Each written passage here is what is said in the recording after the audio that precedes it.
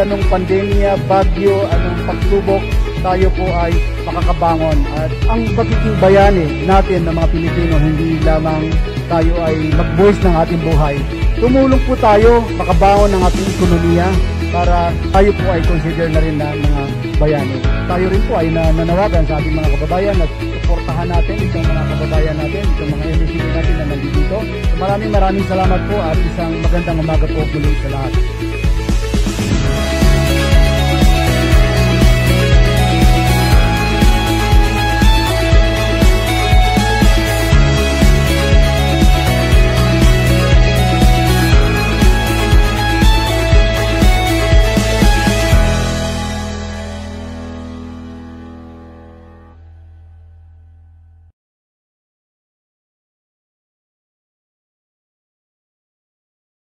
Alright. So kanina from Lazada, and I'm sure marami rin sa inyo na nagta-type in ng inyong mga comments na you were also an online shopper. Ayan, no? And na-discover natin na yung paano maging, na, na napakadali na ngayon, ayan, to shop from our own homes and do online payments. But sometimes I think we also need to know uh, the ins and outs and how we can protect our finances when paying online. Kasi minsan yung iba takot yan magbay- magbayad ng electronically dahil nga baka biglang mag-disappear yung pera nila, hindi pumasok, hindi maibalik. Ayan. So to assist us with his talk on online payment services, please welcome the head of aggregator partnerships and AVP of GCash Mint, Globe FinTech Innovations Incorporated, Mr. Justin Paul Yap.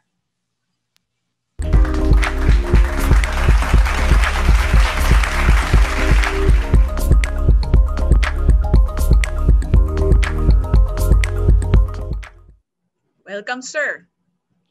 Well, uh, thank you and uh, good morning sa lahat ng nanonood natin uh, for this uh, virtual National Trade Fair. Magandang umaga sa inyong lahat.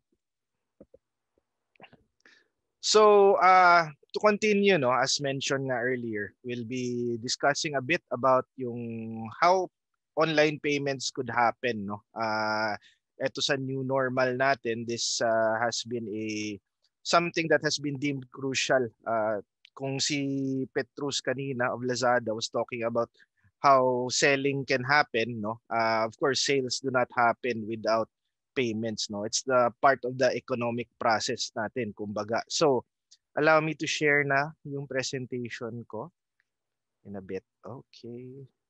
Ayan.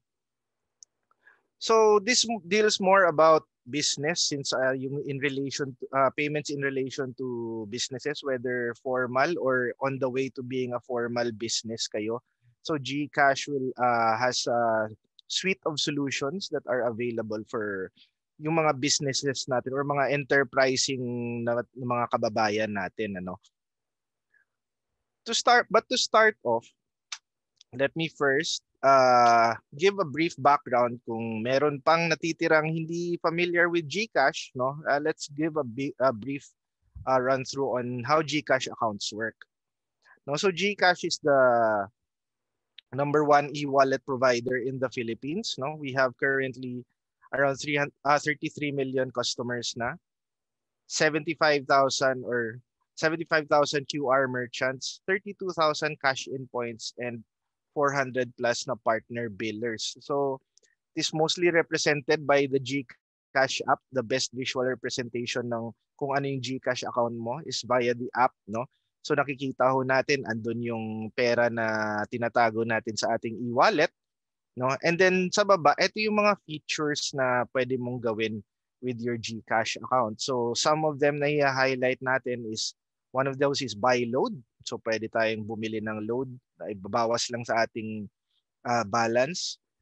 Paying your bills, no? Meralco, yung sa tubig natin, internet, etc. Uh, some schools are also biller partners. So makikita niyo din sila sa pay bills menu.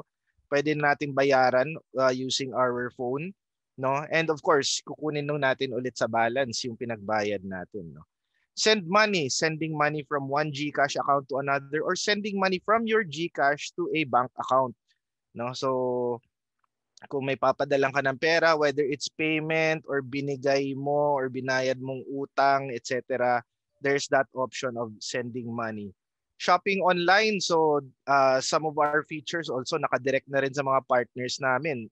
Lazada halimbawa. So kung kung i-relate natin sa topic kanina, 'di ba? It's not just people logging on to Lazada na nakakita ng ano kung mga seller kayo diyan pag nag-login sila sa GCash, may direct portal din kami to that partner. Scan QR naman is when you are using, yung kung napansin nyo dati, nung medyo free pa tayo makagala-gala sa mga malls, restaurants, outside establishments, may mga QR code na nakatatak yung GCash. This is what that feature is for. Pag in-scan mo yung QR, which we'll get into detail a little bit more, no, uh, a little bit more detail later. Pag in-scan mo yung QR, mangyayari yung payment, no. Uh, so some other notes to na kailangan tandaan with with GCash accounts. Your account number is tied to your mobile number, no? Any network, so 0917 etc. etc. Yan yung unique identifier ng account mo, no? Funding your wallet. So, paano mo lalagyan ng pera yung wallet mo? Pwede mo siyang i-link to some of your bank accounts, no? Pwede kang pumunta to offline partners like SM, Villarica, mga pawn shop, no, mga malls, no, mga convenience stores. Pwede tayong pumunta doon, sasabihin, ay, magde-deposit or magka-cash in ako sa GCash account ko and may varying processes pero same result no papasok yung pera sa inyong wallet kasi hindi na siya papel digital na siya course most of your transactions are gagamitin yung balance mo nagpapadala ka ng pera magbabayad ka ng bills bibili ka ng load or may babayaran ka sa isang QR merchant lahat ng transaction natin may SMS notification or text notification na magiging record. So, 'di ba, kung i-compare natin yung yung bank account no uh, to a GCash wallet, yung inbox mo parang passbook mo na rin yun. Everything you do uh, with your GCash account may may counterpart yan na SMS notification para if you need to backtrack no makikita mo saan ba napunta pera ko? Sino ba pinagbayaran ko pinagpadalhan ko etc no? So there's an SMS notification and if medyo magulo na yan meron din summarized transaction report na pwede natin i-request at da- makikuha natin via email So yun, as a first mover in providing financial innovations, meron din tayong suite of financial services na tinatawag. So there's a savings uh, account na pwede nating ma-access through our GCash account, no?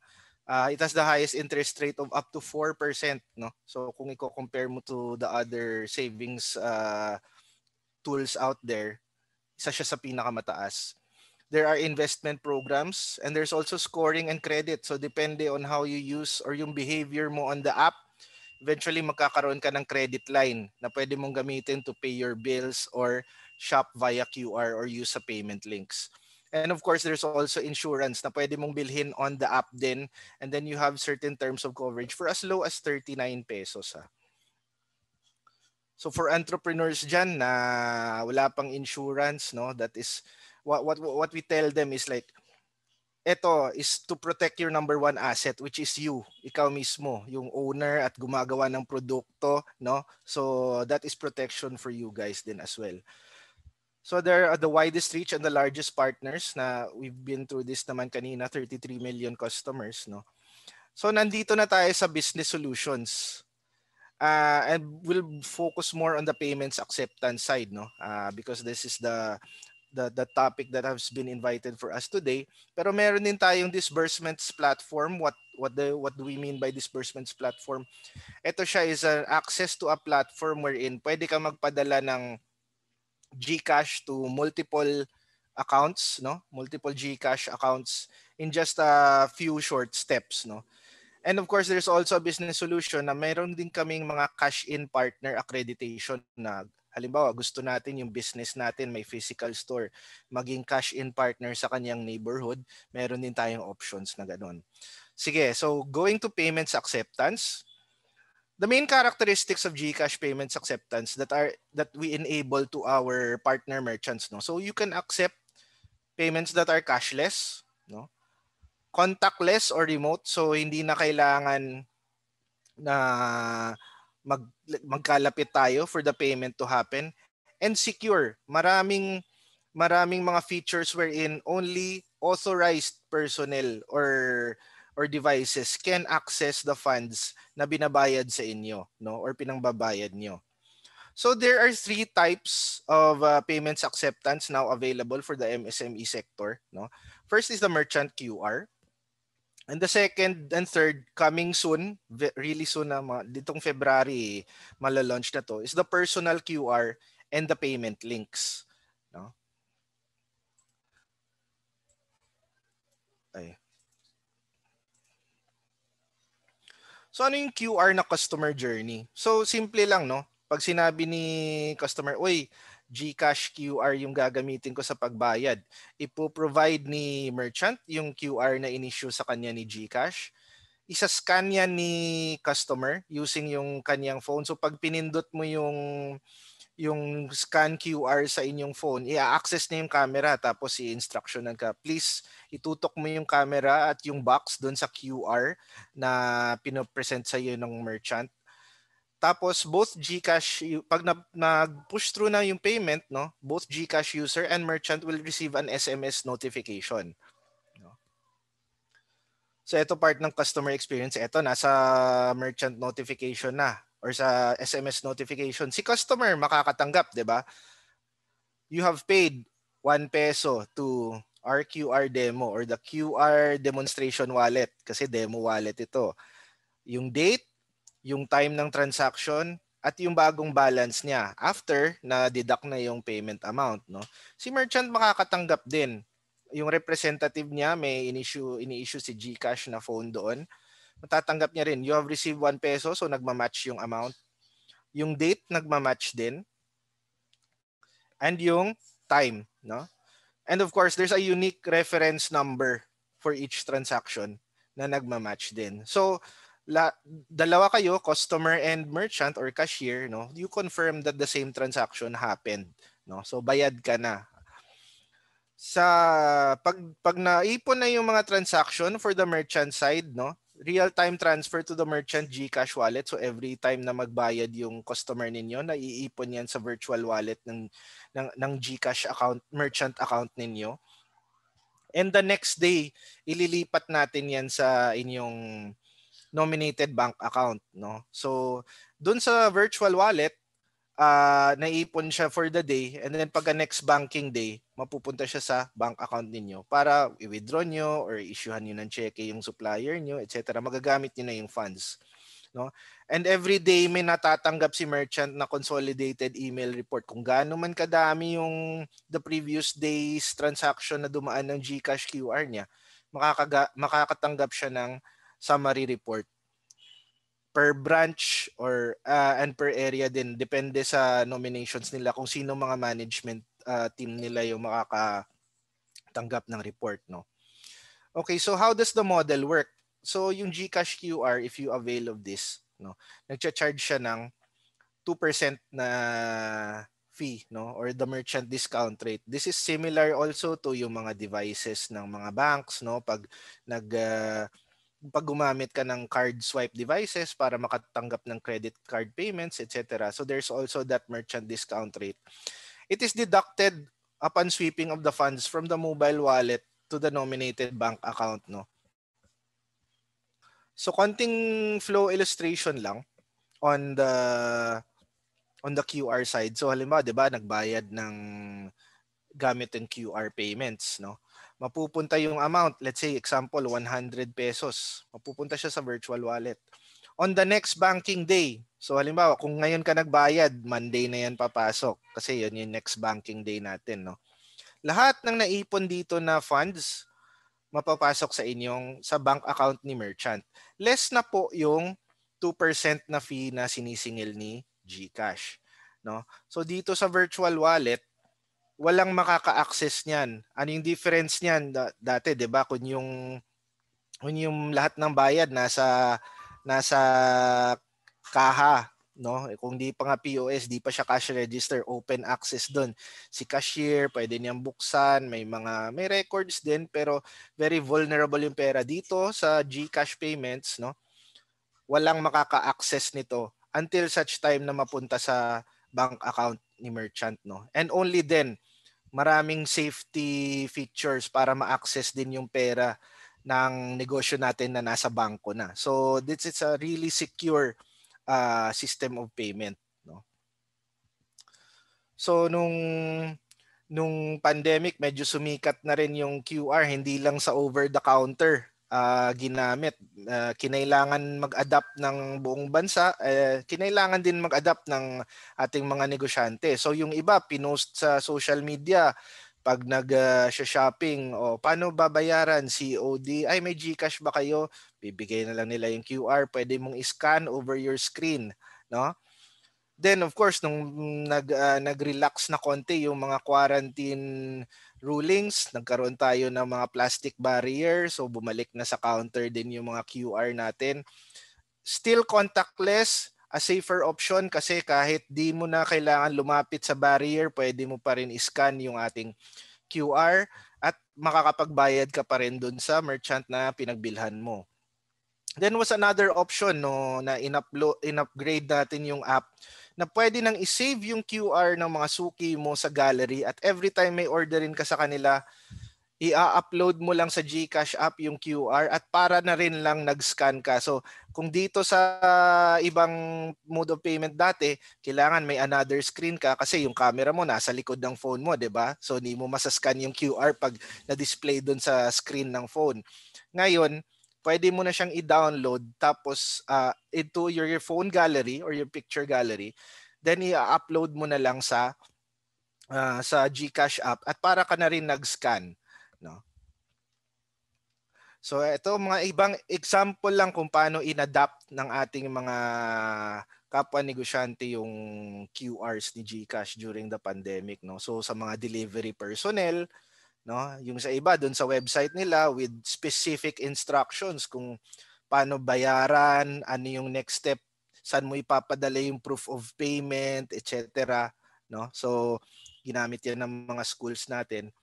Uh, yun, those are some of the examples. So how to onboard GCash, no? So for sole proprietors, meron tayong a list of seven requirements, no? Tatlo nito ay GCash requirements, no? Meron kaming memorandum of agreement kung ano yung terms, paano yung singilan, no? Ano yung mga responsibilities as a user of the platform no? Of course yung mga details ninyo as a merchant ano yung pangalan ng inyong kumpanya etc yung mga kung marami kayong branches iniisa-isa din natin yan. Sa, saan mapupunta yung perang binabayad sa branch na ito? Anong bank account?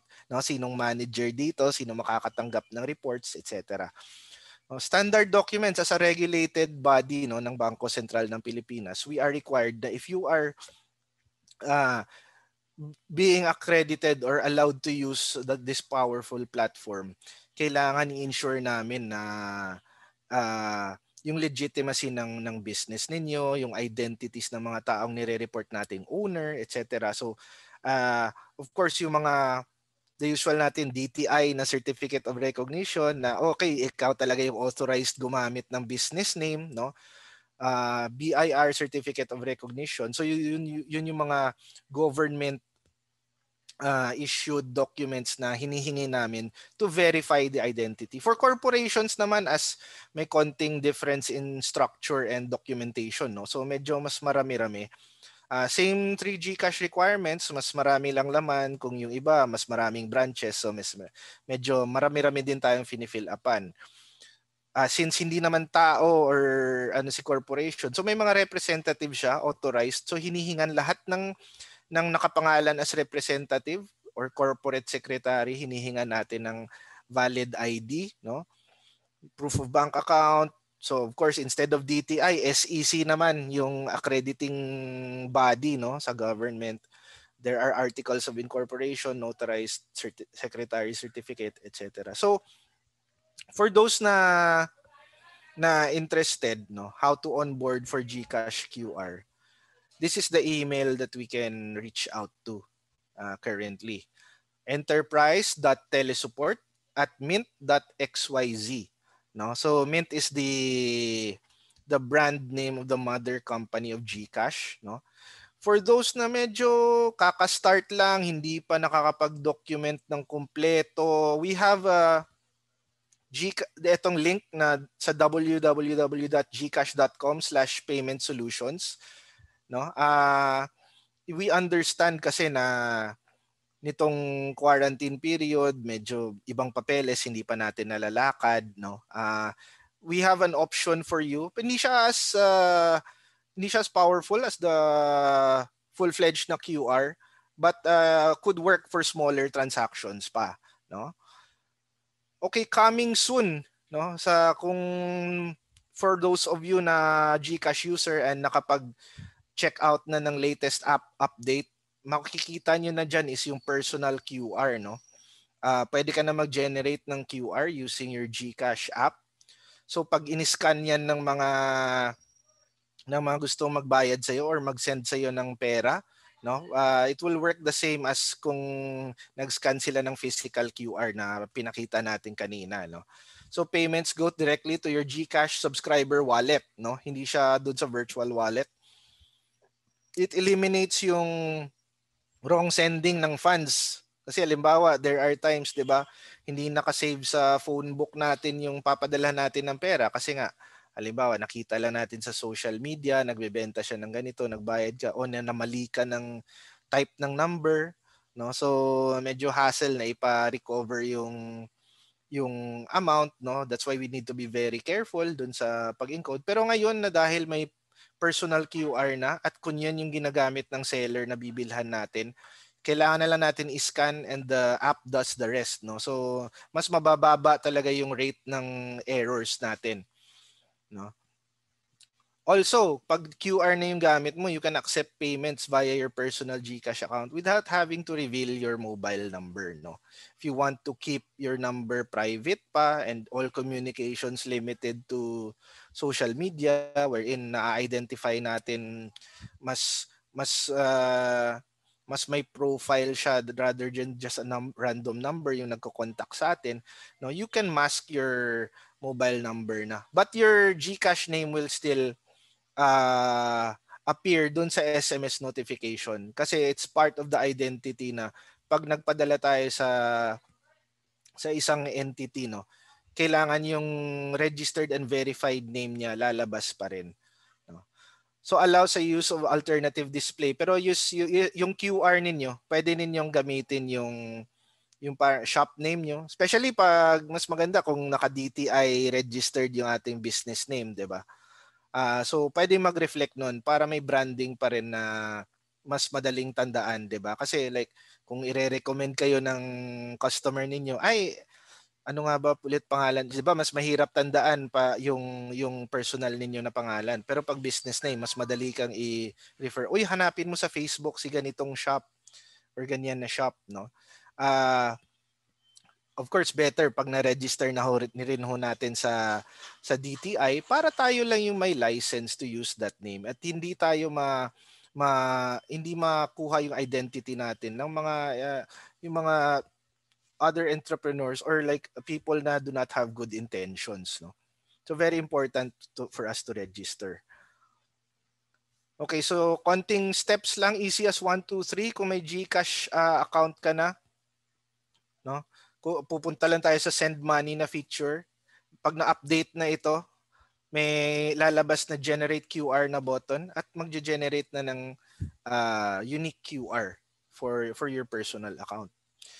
Another payment uh, acceptance solution na coming soon is the payment links, no? So what does payment links do kung ikaw negosyante ka uh, mas mas advanced siya konti sa personal QR no? You can have access to a portal once na onboard ka na ng Gcash as a Gcash payment links merchant. Pupunta ka ng website na yon at pwede ka mag-generate ng link. So pag nag-generate ng link pwede mo nang i-send yung link na ito no sa yung customer pag nag-click si customer diyan, makikita natin mamaya kung paano yung flow process. So, yung status ng mga link, matatrack natin sa isang dashboard doon pa rin sa portal halimbawa may limang link ka na pinadala kasi may limang orders ka.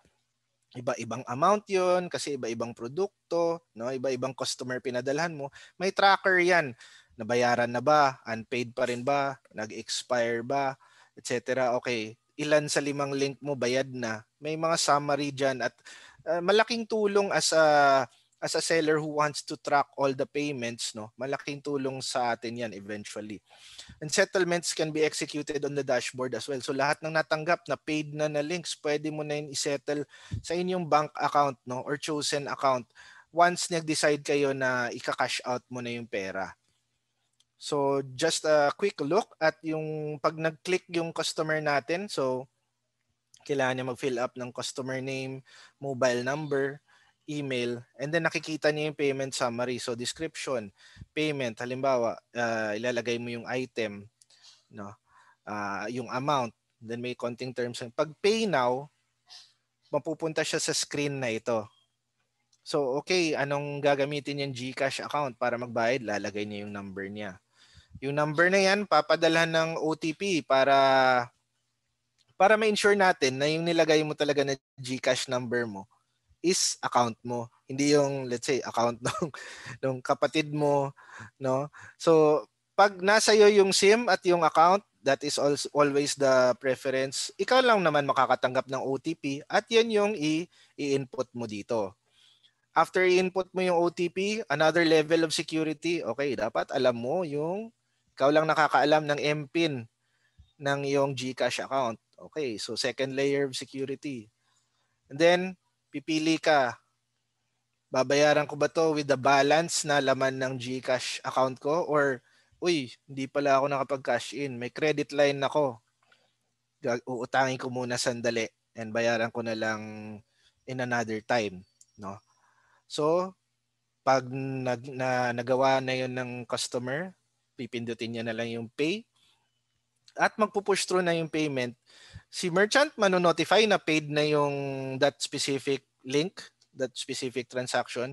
And of course, si si customer makakatanggap ng SMS notification ulit, no? You have paid si ganito na merchant. Kung anong registered merchant name niya doon sa aming system, yun yung lalabas na, binay- na binayaran natin na ano. So, etong payment links uh, pretty soon abangan niyo sa Facebook page ni GCash, ila-launch namin kung saan website siya makikita at saan kayo makakapag uh, apply para makapaggamit, magkaroon ng credentials to the GCash payment links. No?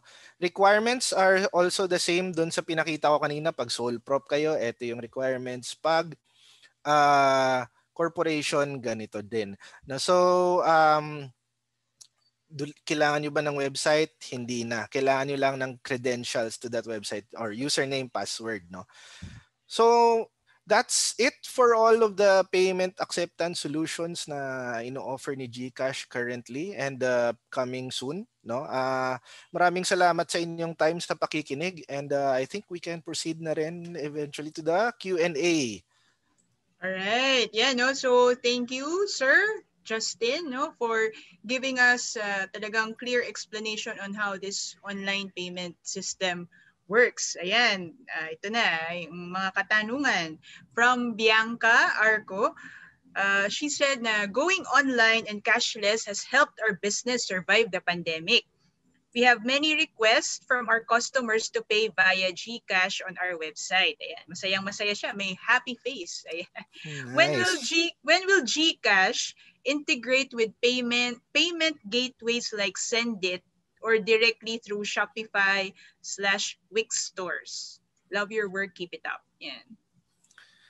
Um, first, send it. Uh, I know that there's a team in talks with them para magkaroon ng integration. Uh, little bit more on the techie side. So medyo baka hindi ko talaga ma-explain fully, no? Pero alam ko ito something to do with yung paano yung system nila mag-usap sa system namin kasi uh, but I know that there are talks with regards to that. Sa Shopee, parang hindi ko pa na-meet yung team working on the Shopee ano but I'm sure uh, because they are also one of the bigger platforms. Uh, there's there's some talks going on na din no? Um for other aggregators uh I've seen a list of uh, those that we have been in partner with na, na mga Paynamics, DragonPay, etc. So um also Shopify, Magento, may mga options na din uh, about to be launched no na kung if you are on those platforms pretty soon may magkaka-integrations tayo on those ano. We we we want to cover everything because our our philosophy naman in payments is that merchants want want to have all types of acceptance, no? Uh, kumbaga uh, hindi tayo aayaw sa bayad, 'di ba? so Siyempre. we want to enable that for everybody and uh, sometimes it takes a little bit more time. Some people have their own parang accounting processes, kailangan ibagay natin sa isa't isa, no? Uh, but uh, eventually uh, darating din tayo diyan, no? Alright. From uh, Sir John Roland Tan, ayan, is GCash really safe? Honestly, I have my GCash pero di ako naglalagay ng substantial amount kasi natatakot ako baka bigla daw mawala. Kasi may ganun daw siyang narinig from Lala Move partners nung nag-sideline siya before sa Lala Move. May insurance na daw po ba ang GCash like sa banks na parang may PDIC? Ayan, if ever. Mm.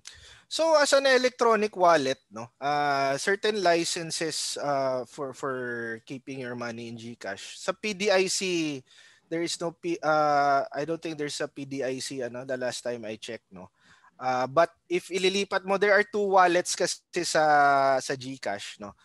If ililipat mo siya sa GSave mo na wallet, yun, PDIC covered yun. May extra ka lang na kailangan uh, gawin to to open up that uh, GSave wallet uh, the distinction is yun nga uh, that's why yung GSave wallet is may earning may interest earning capability because it's a more of a full-fledged bank account than just the regular na GCash electronic wallet. In terms of nawawala na pera, there's a there's a there are numerous uh, nakikita natin na may nag-feedback na ganun. Pero sometimes if you dig uh, deeper, no, uh, paminsan medyo napabayaan natin yung may konting security aspects din tayo ano nabigay natin yung pin or na-access ng ibang tao, nagpanggap na agent na no. So always the the constant reminder is let's keep our MPIN uh, and our OTP pins uh, to ourselves no i-limit natin yung access no always be wary of those na nagko-contact sa atin asking for uh, that type of information, pangalan mo, birthday mo, tapos uh, so wag po natin ipamigay because uh, standard across the whole industry and even banks will tell you the same, no. Uh, alagaan natin yung personal information. One particular ano lang with GCash, may meron tayong customer protect na amount na kung nawalan ka because of na, na defraud ka ng is, ng ibang party uh, may certain qualifications and si GCash yung magko-cover ng ng nawalang amount no? Basta we we have determined na yun nga you fall under certain criteria na okay uh, ganito yung nangyari sa account niya nawala there was a glitch etc babalik naman yung account ah yung amount na yun Alright. So, so in terms of safety, I think uh, we can cover as much as we are able to with with all the rules right now. Sir, when you, you said something about yung parang G Gcash save or something, G save, mm-hmm. uh, do you uh, meron ba yung additional cost if you want to open that? Aka, wala. That, uh, ah, wala. It leads to a partner bank, CIMB Bank, no? Uh, but doon ka na sa app mag uh, magta-transact na rin. So hihingi lang ulit ng certain requirements like a selfie, um, a picture ulit ng valid ID, kumbaga re-verification. And then pag na-openan ka na, pwede mo nang i-transfer transfer lang from ano, from your GCash wallet to your GSave wallet.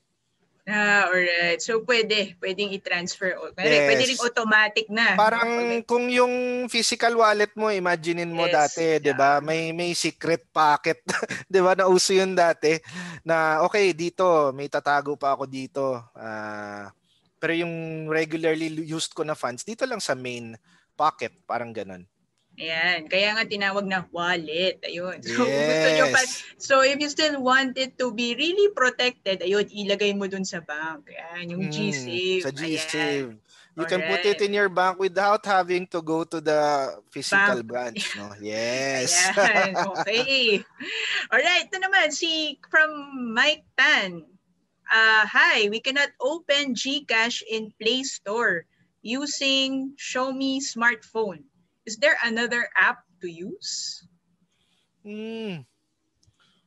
Let me check lang because ano I, I use the same uh, Xiaomi Xiaomi na smartphone no uh, mm-hmm. and uh, I've been ano parang third second or third ko na rin na Xiaomi so nakaka-open naman ako ng nakaka-download naman ako nakakagamit naman ako ng GCash app siguro um we could go to the ano na lang no help.gcash.com para mas uh, makita natin baka may something specific na kailangan mo i-trigger para makapag-download ho kayo. Uh, in, in terms of uh, personal experience lang, no, uh, nagpo-push through naman sa, sa Xiaomi phone ko. No? Baka there's other factors, may, may na-lock ka dyan na, na settings or ano, no. Uh, our customer service team is more than capable naman of helping you out. Alright. For siguro clarification lang para dun sa mga hindi pa klaro about GCash. Sir, kailangan ba ng separate phone? Para yun lang, you know, para dun lang talaga yung mga GCash transaction mangyari? Or kasi ah. meron pa siyang separate SIM o hindi naman? Even you can use your own personal phone. So, when you're using a personal QR, no? So, dun lang siya sa personal phone mo uh, madidiretso or sa personal account mo. Pero if you have a merchant account, every QR we issue to you, may kasamang libreng uh, feature phone wherein ibibigay mo yan sa frontliner mo or sa cashier na para lahat ng payments natatrack niya doon sa sa phone na yon no mm-hmm. uh, so every order oh, every QR na dineploy namin sa inyo no kung let's say yung maliit mong store, tatlo yung counter, 'di ba? So lahat ng counter gusto mo lagyan ng GCash QR para kung may magbayad doon, doon na lang sila diretso. So lahat ng QR na 'yon, i-issuehan namin 'yon ng sariling uh, notification phone.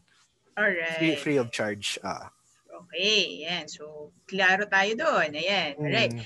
Next, from Bell Uy, are there banks which we can nominate where there will be no charges from GCash or bank for the transfer transaction? Ah, if you are a GCash merchant, no, uh, di ba in-illustrate natin kanina, pag napunta siya sa GCash virtual wallet, the next banking day mapupunta sa bank.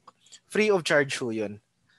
No. Uh, it's not like the transfer to bank na dito sa personal mo na GCash account. Hiwalay natin yung personal GCash account sa merchant account mo. No? Pag merchant account ka, inisyuhan ka ng ng QR, ibang wallet 'yon, hindi 'yon yung personal wallet mo. No? Kaya sinisweep natin sa bank kasi doon mo na i-access yung funds na napupunta for your business. So any bank na nasa list of partners namin when you apply, pwede mong i-nominate and then lahat ng naiipon na payments dun sa GCash virtual merchant wallet ninyo, mapupunta sa bangko na yon free of charge. Sir, clarification lang kasi may nabanggit din na parang yung kanina dun sa presentation parang may 2% fee ah, na yung... nababawas. Uh, ano po yun? Ano yung pagkakaiba nun dito sa uh, walang fee if it goes to your bank? Ah, yung merchant discount rate or yung 2% na fee is basically the the fee na for the whole service, no? Na-deployan namin kayo ng QR. Uh, hindi mo siya madi-divide into the steps of na per per bank transaction may may fee na, na ano. So if you want to look at it as uh, the cost of being a the, yung totality na ng being a GCash merchant, no na yun nga to, for use of the scan to pay solution. So if if the merchant does not agree to the terms, uh, hindi siya i-disable na siya yung yung pag-use niya ng ng GCash na payment solution or ng QR solution. No, so basically it's uh, parang overall fee na lang siya to to cover for your use of the solution. Siguro you can think of it as a subscription fee kumbaga na habang habang ginagamit mo palagi yung yung payments acceptance solution namin yun yung magiging charge for every transaction All right. So for every transaction, Mm-mm. for every transaction, all right, may Yes. 2%, okay? For for using that uh, platform, parang ganon. Yes. oo. Alright. So kung okay. walang nagbayad using GCash uh, for the month of ganito or for the day, wala walang transaction fee na isisingil, no? Mhm. Ganun siya. Alright. Alright. So clarification na, yung 2% na yon, it's for using the platform, but there is no transaction fee if your money in GCash will go to the bank. Mm. Tama? Alright. Mm. Alright, okay. Sabi ni, iko continue no, yung kay Bell, "Uy, I was charged daw 2% service fee, service fee, service fee from my GCash for reaching the 8,000 pesos monthly limit for free Mhm. over-the-counter cash-ins. Paano daw po yun Okay. maiiwasan? Okay, so yung over-the-counter cash-in kasi, so we have partners no who will accept uh, cash-in services over the counter, no. So in in the old days, uh, pag nag-cash in ka sa isang partner, so halimbawa uh, sa isang pawn shop or sa isang convenience store na partner namin, libre yun dati, walang walang charge.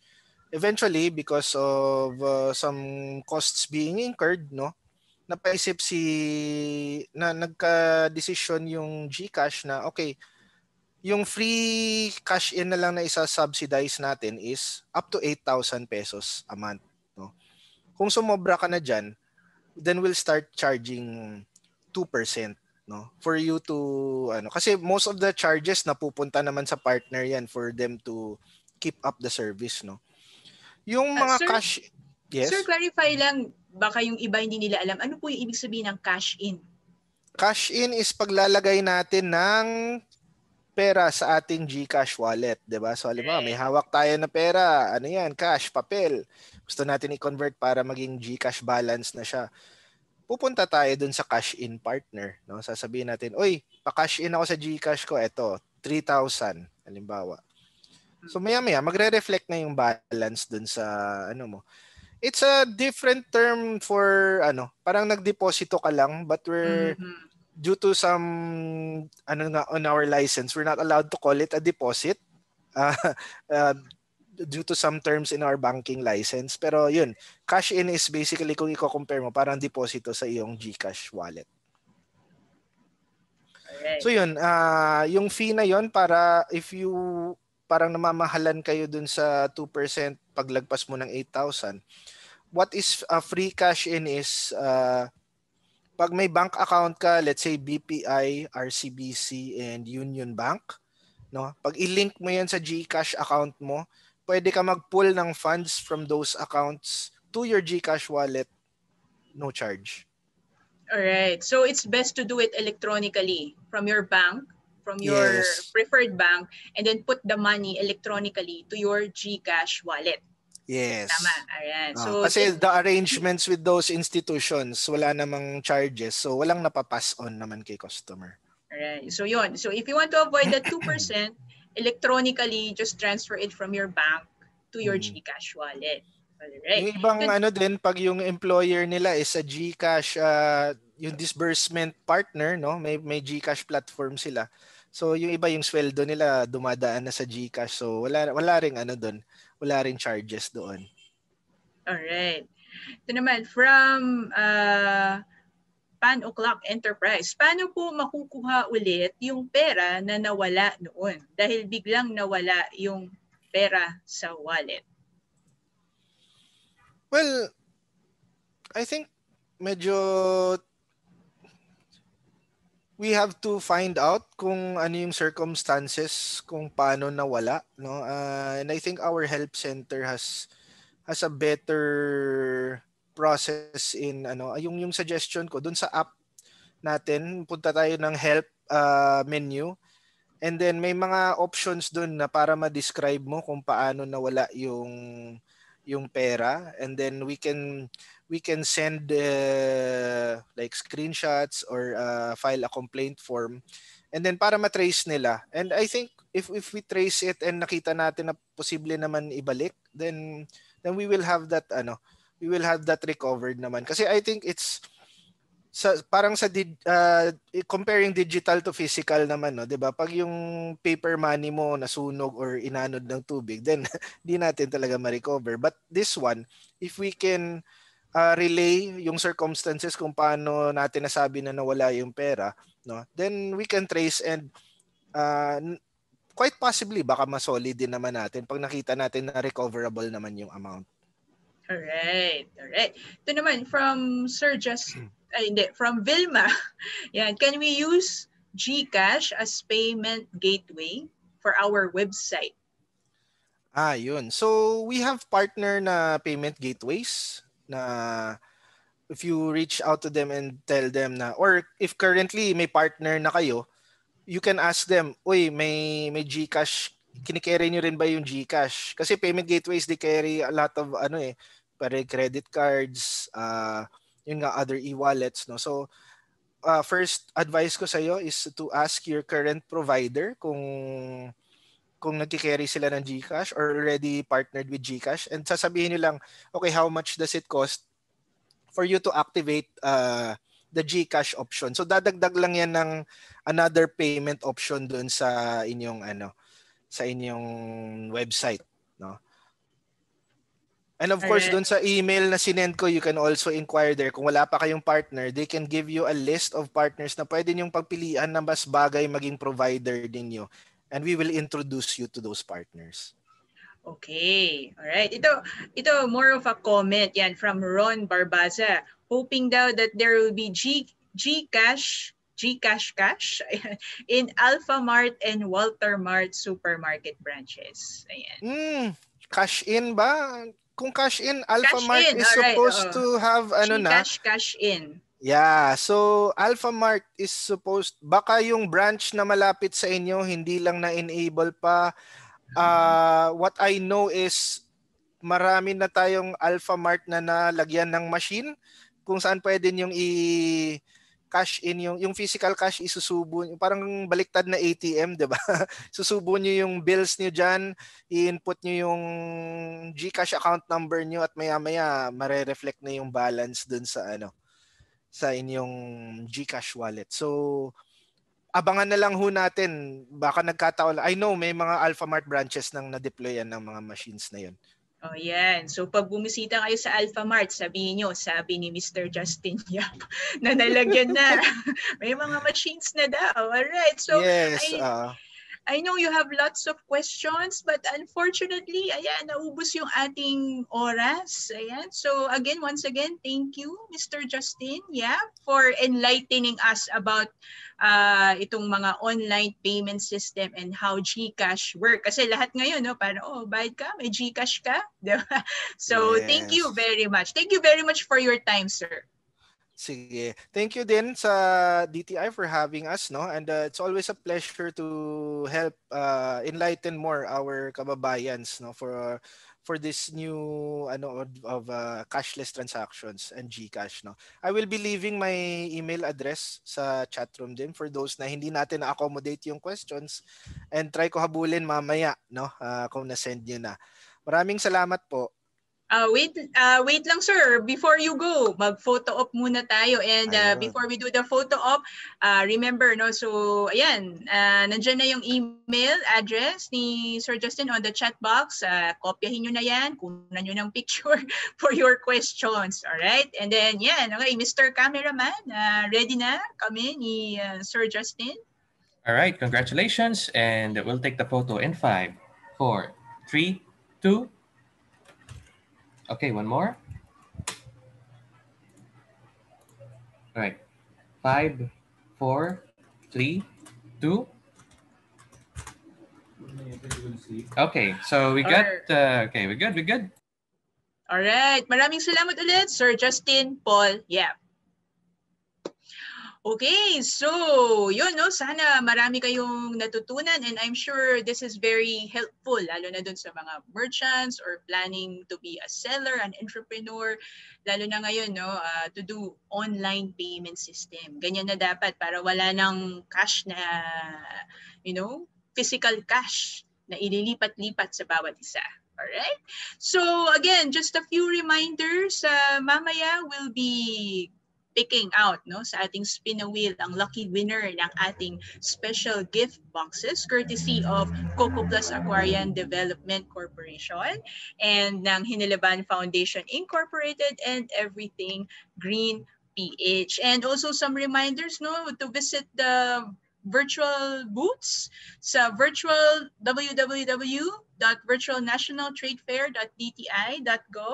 www.virtualnationaltradefair.dti.gov.ph. Ayan, and you can also visit the Facebook page. Just look for Virtual National Trade Fair. Ayan, may kita nyo dyan and then bisitahin natin yung mga booths at suportahan natin ang ating mga local entrepreneurs. All right. So, next presenter, mamaya we'll talk about logistics companies and how they can help MSMEs. But for now, we'll come back at exactly 12:30 p.m. All right. See you later.